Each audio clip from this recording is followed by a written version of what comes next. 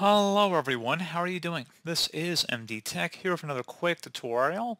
In today's tutorial, I'm going to show you guys how to show hidden files and folders on Windows XP. So if you have to get into the core Windows files and you're unable to view certain files or folders because they're hidden from view, in today's tutorial I'm going to show you guys how to change that view setting. And without further ado, let's go ahead and jump right into it. So we're going to start off by opening up the Start menu and then select My Computer on the right panel on the top, select the Tools tab and select Folder Options. Select the View tab again. Now, this time it's within the Folder Options window. And underneath Hidden Files and Folders, select Show Hidden Files and Folders and select Apply and OK.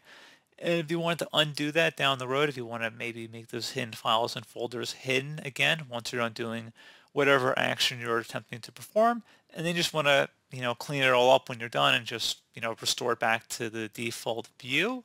You just would select tools again and then folder options select the view tab and then you would select do not show hidden files and folders select apply and OK and that's all you have to do. So pretty straightforward process guys. Do hope I was able to help you out and I do look forward to catching you all in the next tutorial. Goodbye